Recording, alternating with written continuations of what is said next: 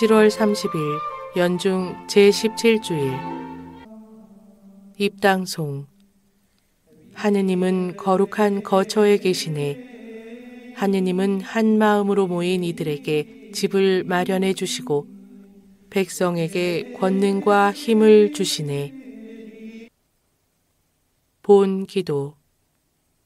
저희의 희망이신 하느님 하느님이 아니시면 굳셈도 거룩함도 있을 수 없고 하느님만이 저희를 지켜주시니 풍성한 자비로 저희를 보살피시고 이끄시어 저희가 지금 현세의 재물을 지혜롭게 사용하며 영원한 세상을 그리워하게 하소서. 성부와 성령과 함께 전주로서 영원히 살아계시며 다스리시는 성자 우리 주 예수 그리스도를 통하여 비나이다. 아멘. 제1독서 너는 분별력을 청하였다. 열왕기 상권 3장 5절에서 6절, 7절에서 12절의 말씀입니다.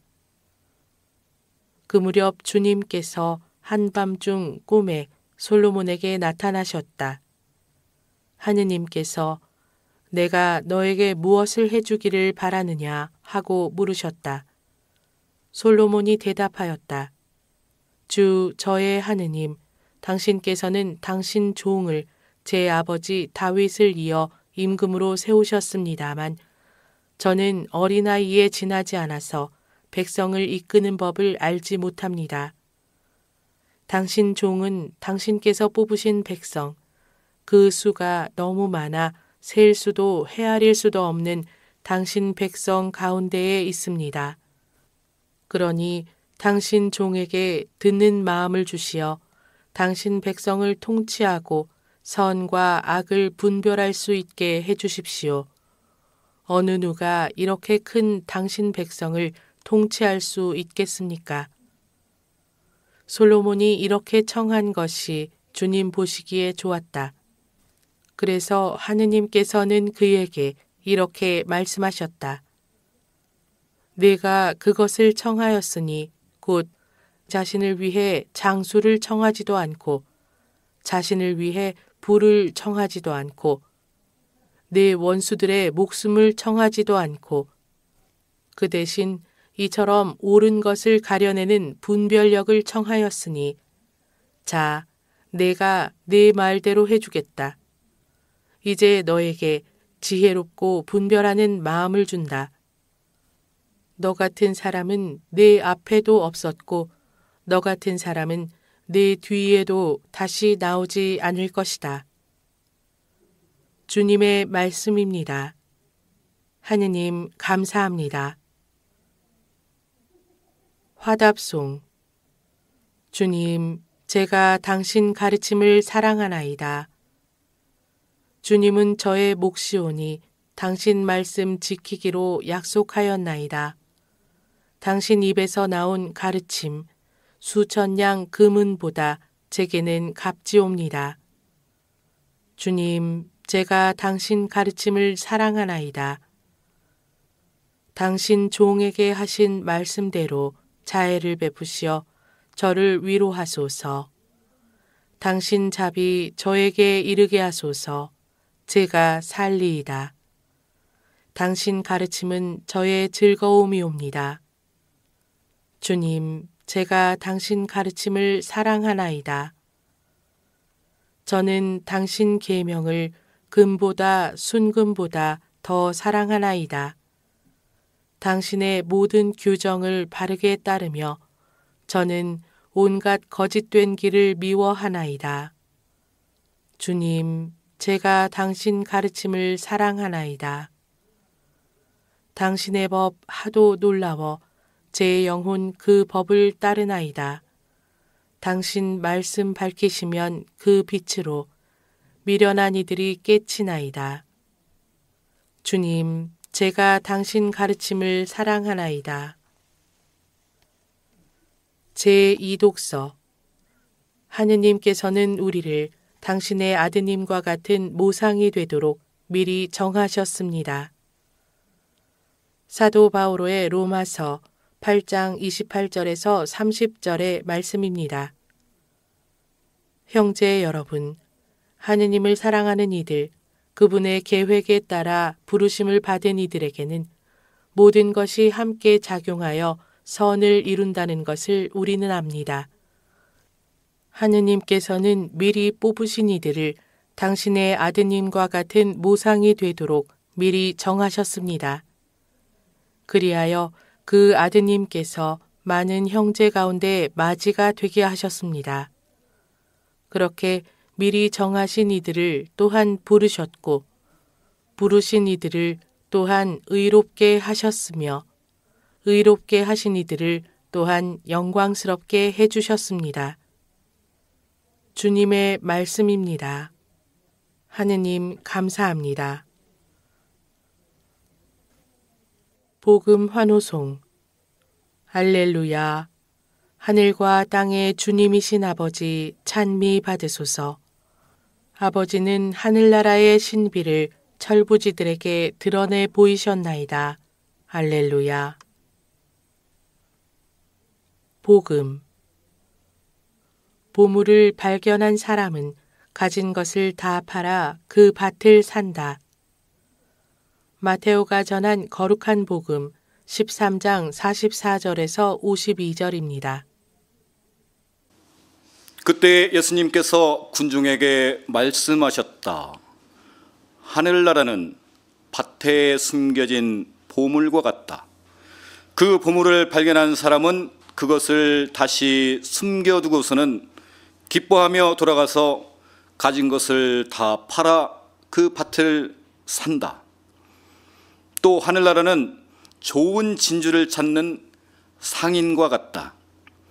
그는 값진 진주를 하나 발견하자 가서 가진 것을 모두 처분하여 그것을 샀다. 또 하늘나라는 바다에 던져 온갖 종류의 고기를 모아들인 그물과 같다. 그물이 가득 차자 사람들이 그것을 물가로 끌어올려 놓고 앉아서 좋은 것들은 그릇에 담고 나쁜 것들은 밖으로 던져버렸다. 세상 종말에도 그렇게 될 것이다. 천사들이 나가 의인들 가운데에서 악한 자들을 가려내어 불구덩이에 던져버릴 것이다. 그러면 그들은 거기에서 울며 이를 갈 것이다. 너희는 이것들을 다 깨달았느냐? 제자들이 예 하고 대답하자 예수님께서 그들에게 이르셨다. 그러므로 하늘나라의 제자가 된 모든 율법학자는 자기 곳간에서 새 것도 꺼내고 옛 것도 꺼내는 집주인과 같다.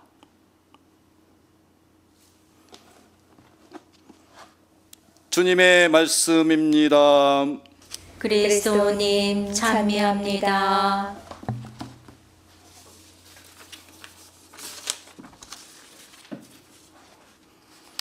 찬미 예수님 찬미 예수님 반갑습니다.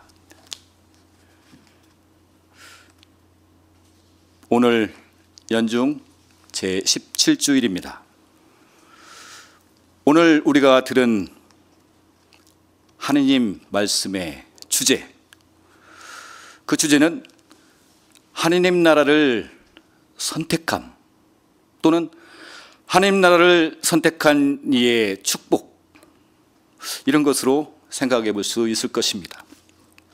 우리는 방금 제 1독서를 통해 솔로몬이 지혜를 선택했고 그 선택이 하느님 마음에 들었으며 결국은 하느님께서 솔로몬에게 나머지의 것들도 곁들여 주셨다는 사실을 알게 되었습니다.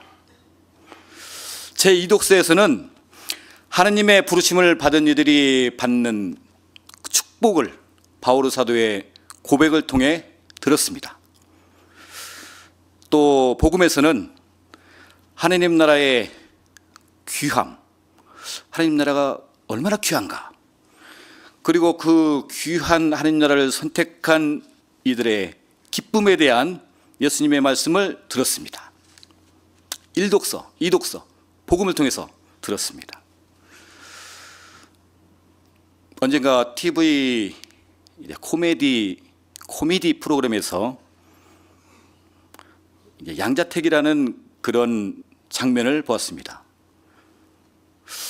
100억을 받고 지옥에 가겠느냐? 아니면 100억을 받지 않고 천당에 가겠느냐? 이 둘 중에 하나 선택하라. 여러분은 어떻게 선택하시겠습니까?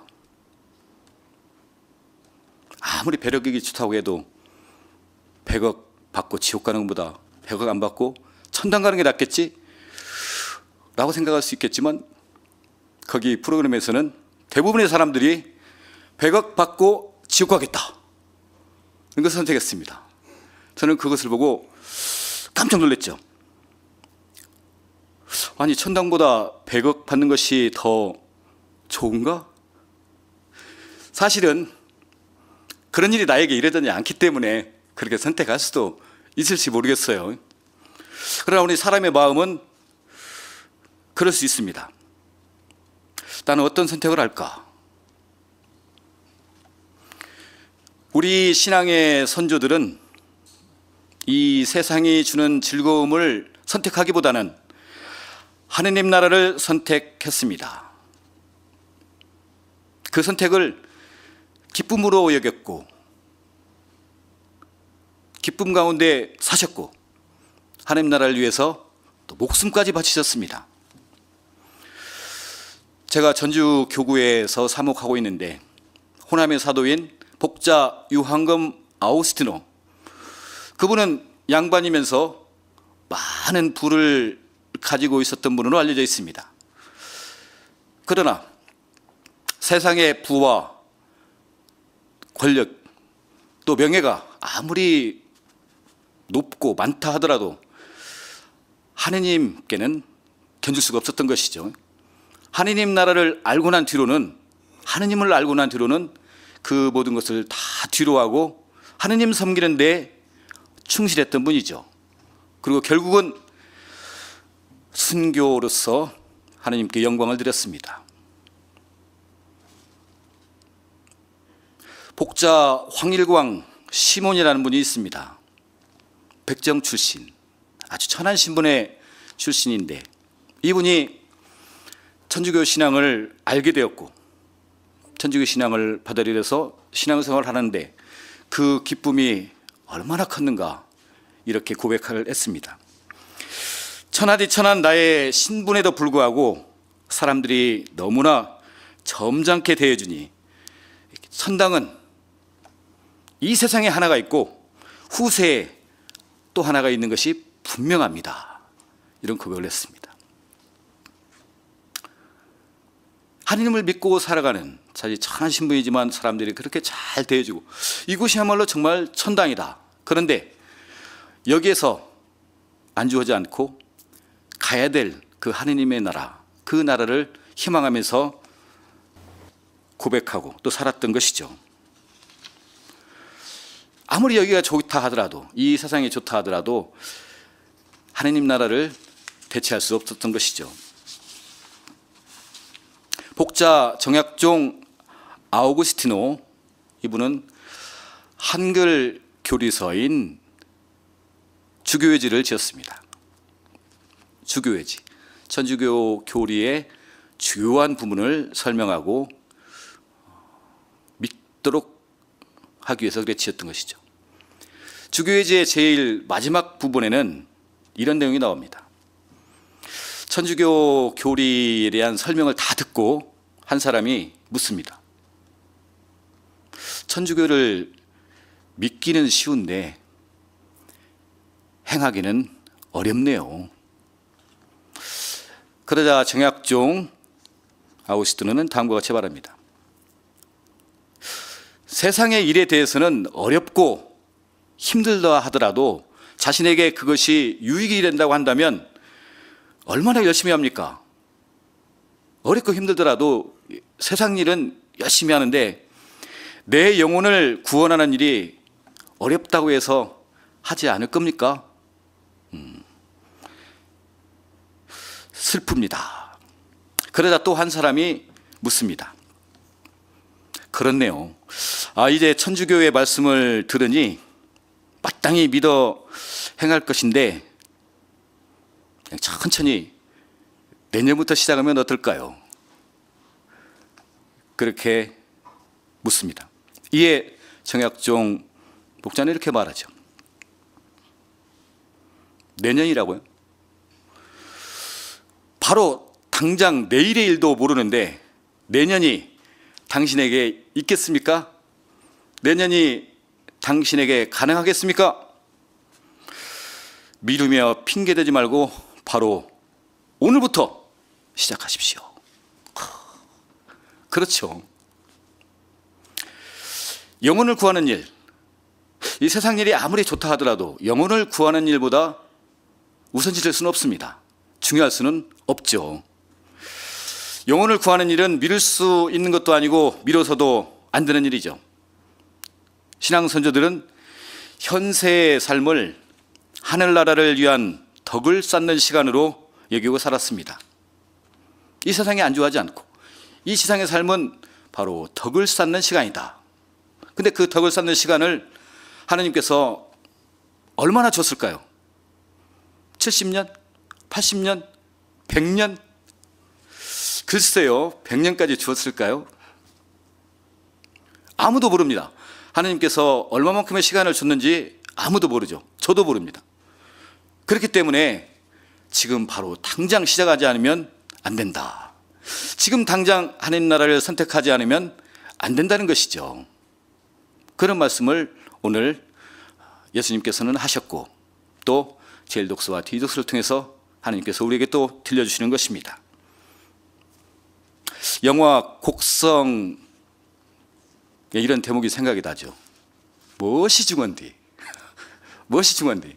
중요한 것이 정말 뭘까? 우리의 인생에 있어서 우리가 살아가는 삶에 있어서 중요한 것이 뭘까? 그것은 바로 주저없이 하느님이라고 하느님 나라라고 대답을 하지 않겠나 싶습니다. 저희의 희망이신 하느님, 저희가 영원한 세상을 그리워하게 하소서. 아멘.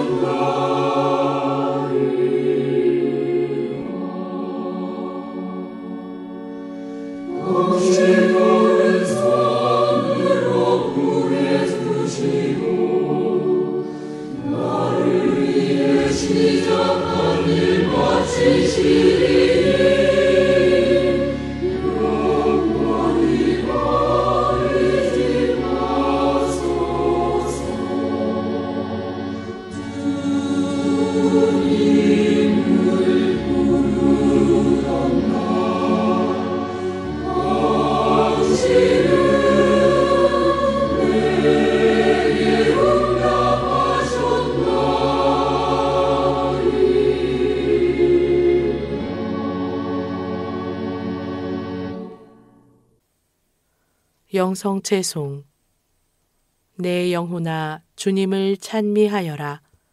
그분의 온갖 은혜 하나도 잊지 마라. 영성체 후 기도 주님, 저희가 성체를 받아 모시며 언제나 성자의 순환을 기념하오니 성자께서 극진한 사랑으로 베풀어 주신 이 선물이 저희 구원에 도움이 되게 하소서. 성자께서는 영원히 살아계시며 다스리시나이다. 아멘. 성부와 성자와 성령의 이름으로 아멘.